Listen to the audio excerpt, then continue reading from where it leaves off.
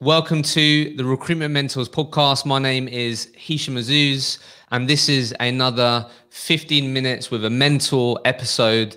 And basically, in this series, we're going to ask mentors from inside the community seven questions in 15 minutes. I'm really excited to be joined by Mark Thomas. And before I ask you the first question, Mark, why don't you introduce yourself for those that may not know who you are? And we'll get into yeah. it. Cool. Yeah. Cheers, Hishem. Uh, pleasure to be here. Um, so yeah, I'm Mark Thomas. Uh, work for Eames Consulting, which are uh, financial service and insurance predominantly specialist uh, recruitment brand based in London, uh, Hong Kong, Singapore. Um, and I'm the technology and change business with uh, with a colleague of mine um, in in predominantly a business development and sales focused kind of leadership role. Amazing. So, first question: What Two. was your biggest challenge in 2020? How did you overcome it, and what did you learn from it?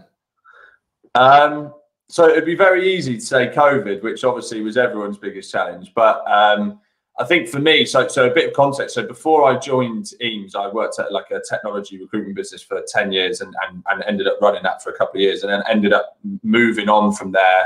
Uh, just just over two years ago, so 20 uh, sorry 2019 January. So and I joined Eames in order to to run technology for them, but also to uh, start up a regional office. So uh, I, I don't live in London. I live in uh, like a small village out, out towards Swindon Way.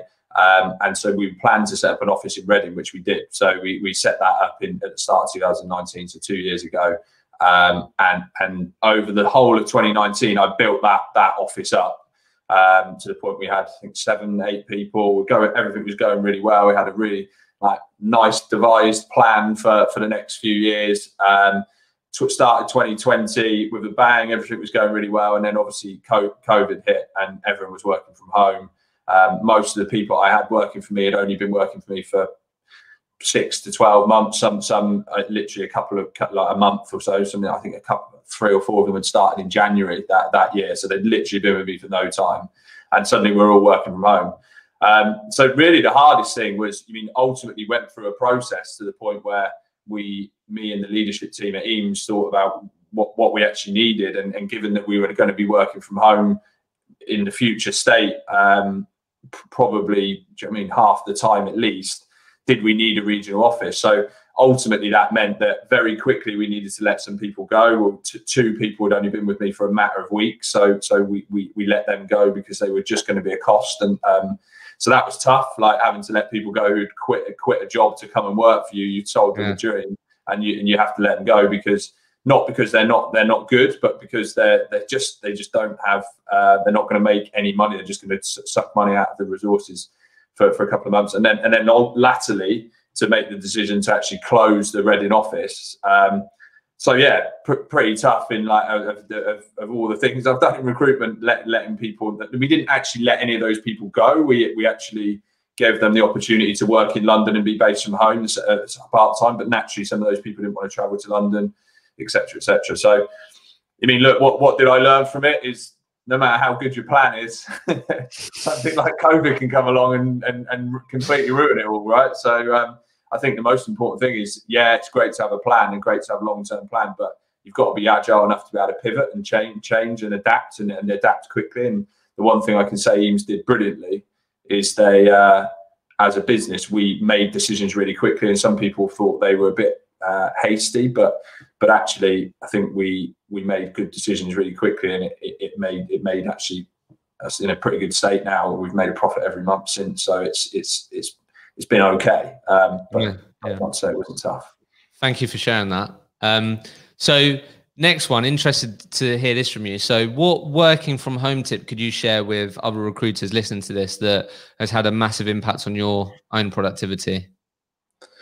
Yeah, so uh, working from home, like I wasn't a work from home person at all before this. I probably count on one hand how many days I've worked from home in 12, 13 years. Like I just, I, I, I, I hated it. I've, I've kind of grown to, to quite enjoy it. Um, I think the most important thing about working from home for me is is having structure, like having having a having a plan. Like I always get up shower, get ready for work as though I was as though I was going to work in the office, and and spend time sat like in the office, have lunch breaks. Um, I've just kind of my by my wife pestering me is has managed to like start going for a walk every lunchtime. It means I've got some structure to my day, a bit like what I would have if I was in London. I would go out at lunchtime, go for a walk, get some lunch or something like that. Um, so for me, that's the most important part. Like that's been the change for me. Now I've got a structure and structure it very similarly to I am in work. It, it makes it a bit easier. I think if you don't have that, you can easily just become a bit demotivated and just not not focus on what, what you what you need to do and activities you need to do each day and stuff like that. Yeah, absolutely. I definitely agree with you on that. And I know there'll be different sort of channels that you use, but from your own experience, what's been the most effective way for you to win business in the last 12 months, would you say? Um, so, so I, I kind of break the mold a little bit on this. So like, I, I am, I am, I am, I'm certainly not against cold calling and, and, and being on the phone, but I also think that there, I think recruitment people in recruitment get a, a, little bit too bogged down on that. There, there's multiple ways of winning clients, and some people are great at sending brilliant emails and winning clients that way and getting people on the phone that way. I, have been quite good at that in, in the past, but you mean in the last 12 months, the most important thing that's come to home to roost for me is the fact that I spent 13 years building relationships with people, and actually those relationships really come to come to the, the, the forefront when when when times are tough. So you can pick up the phone and speak to people. Um, there's a there's a lot of recruiters, and I, have seen a lot of them that have quite a few. Some have worked for me that that, that have a very short time term mindset. So they they only really want they and, and that's partly driven by the way our industry is. Like they, they, they everyone's looking for the next fee. Um, and so therefore if a someone a senior person who's not relevant for a role that you're working you don't speak to them because they're not going to provide you with with cash in the bank right then but actually you've kind of got to think of the long-term compound effect of speaking to that many people do you know what i mean so my my attitude has always been speak to as many people as possible they may not pay pay pay uh, give you an invoice or pay pay any money to you right now, but but longer term, people remember those those those kind of relationships and those, those that long term mindset. So for me, that that in the last twelve months, that's one hundred percent been been what's what's paid dividends to me. People who I've worked with before, who remember me, I've done good work for, you can go back and revisit. Not always the same, but necessarily if you're new into the job, but start. You, there's always a good time to start, right? Yeah, no, I, I really like that. So Interested to hear this from you. What what habit or hobby did you start in 2020 that you're going to continue in 2021? Uh, so, so I probably just answered. It's, it's it's walking. Like if you if you ask anyone that knows me, I I, I just I don't walk anywhere. Like I, I get there. I spend. I, am apart from around the golf course. Um, so my my missus would have asked me about a hundred times to go for a walk at lunchtime and stuff like that, and I just I just didn't do it. I hated it. I hated every minute of it. Um, but I found that in lockdown, one of the things that I was doing when I didn't have structures, I was getting to the end of like a Thursday and I'd not been out the house for like four days or something like that. So, um, so because I'm working from home, I just like my commute was about five yards from the from the, the bedroom to the to the office. So, um, so that's the one thing I've started doing, and, and I've got kind of quite into counting how many steps I do and and, do, and making sure I do like regular activity and stuff like that. So so yeah, I probably begrudgingly, I'll, I'll, probably carry on doing it. In fairness, quite, quite quite enjoyed it, getting a bit of fresh air and stuff. Love that. So, which do you think is better, the first coffee in the morning or the first pint post work on a Friday? I don't drink coffee, so it's an easy, it's very oh. easy. so yeah, I don't I don't drink coffee. I'm not really like it doesn't really agree with me caffeine. So um, so yeah, that, and I, but even if it was, even if I did, did drink coffee, it would definitely be the pint. Fair. Right. So the next next one is is slightly different. It's it's more of a scenario, and I want for sort of to hear how you how you'd approach it. So a particular business that you've that you've had on your sort of target target client list for over a year or a long period of time. You've had a couple of touch points with different people, different hiring managers over that time at this business from I don't know, some of them might have engaged with some of your content on LinkedIn. You might send a couple of emails, but through your candidate network, you managed to get one of their their contact numbers, one of the hiring managers, and you call that person. They pick up the answer. They say, "Hello, who is this?" And I want to hear sort of what you'd say or or how you'd approach it. right. Okay. So, um, so I've never spoke to this person before. No, but they may have seen your name, like they you they may have engaged with some of your content, or like you may have ended up in their inbox at some point. Like there's definitely been touch points for sure. Yeah. So uh, for me, like, it's funny. I was talking to this about uh, for our, uh, our head of training this morning, but um, for me, what I would do and what I've always done in this is, is try to build some kind of rapport. Like, and, and there's and, and actually a lot of people talk about how you do this, and I've had consultants ask me before, and, and it's really hard to teach. But and, and actually, that the, the, I think the thing people mistake uh, get wrong is is that they uh, they try to tell them what things to build rapport on, and, and that's that's not the right thing to do. It's what's most important for me is to understand what you're interested in, um, and and make that something that someone else could be interested in as well. Find common ground. So obviously, I would intro with with what I was doing. I, I, I certainly wouldn't go into some big long spiel about what Eames do and, and stuff like that because, frank, frankly, I just don't think people really care about that. Like the, you, they ultimately really want to why they're talking to you, who you are, and, and, and if you are going to talk to them, what value they've got of spending this time to speak to you. So um, if they're aware of me, it makes it a bit easier because you you you therefore can you hopefully have got some kind of banked rapport already because they know you a bit.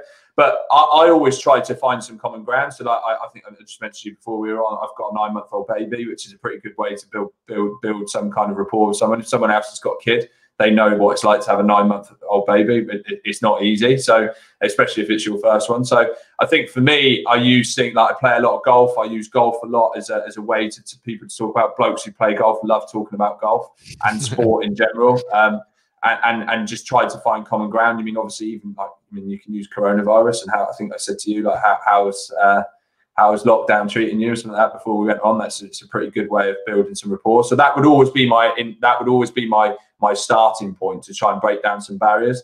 Um, I think then latterly, I, I then try and try and turn that into a as much of a two way conversation as possible. So I, don't really see client calls and candidate calls as separate. I think that's another mistake recruiters make. Every mm. can, candidate and every client is potentially the opposite. So I, and, and it's amazing how many times I, I've got clients off the fact back of speaking to people who thought they were a candidate. So I would I would actually enter the conversation and just trying to find out where they're at at the at the moment. So are they hiring? Do do they do what what are their problems at the moment? And that might be that they're looking for a job. If so, it might mean that the first call that I have with them, I end up talking to them about what they're looking for.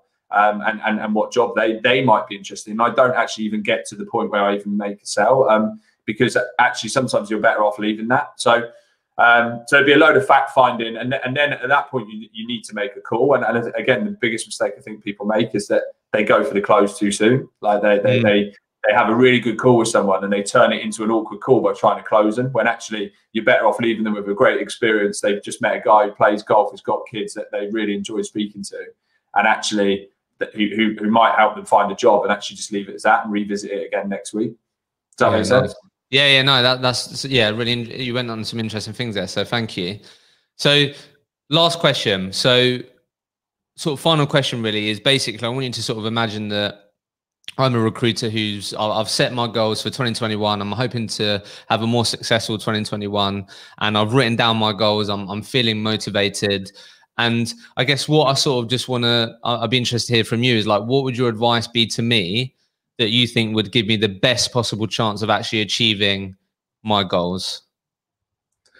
So I think uh, so I think for me it's it's it's about breaking them down. So like lots of people at the start of the year focus on this really big kind of goal that they've got for for for 2021 or whatever the year would be, and and it's it's it's kind of it's good to have, but it's kind of unachievable. So it goes back to a little bit like I, I like to structure I, I, have kind of daily activities that I absolutely must do, no matter what what happens, and I structure them into my day. So, for example, I always, always, without sale, uh, without fails, um, send five business development emails every single day, and then normally yeah. be be identified from a um, from leads that I've got the previous day or people I've looked at. That's just one example, but I think what you, you, need to come up whatever that big goal is, work backwards and figure out what you need to do weekly, monthly, and, and factor it into that and focus on the week.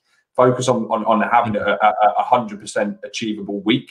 Because if you focus too much on the goal, you'll either lose track of it and it'll become unrealistic very quickly, or or you're backload it and, and really not worry about it till you get to the end of the year and then it's too late. So I think you need to break it down. I would I would suggest weekly and daily is the is the way to do it. Um, and, and have that all those numbers figure out feed into the thing. It's a bit of an old school recruitment method, right? Work work backwards if you need to do figure out how many sales calls you need to do to get X number and work work backwards from there. But it works. It works for me 100%. If I don't have a day plan and a structure, know what good looks like for a day or a week, then you've got no chance of of, of, of achieving the the annual one because it's just too much of a bigger target. Yeah, great, Mark. That was it. 50 minutes with a mentor. Yeah. Nailed it. Thank you so much. no worries. Pleasure.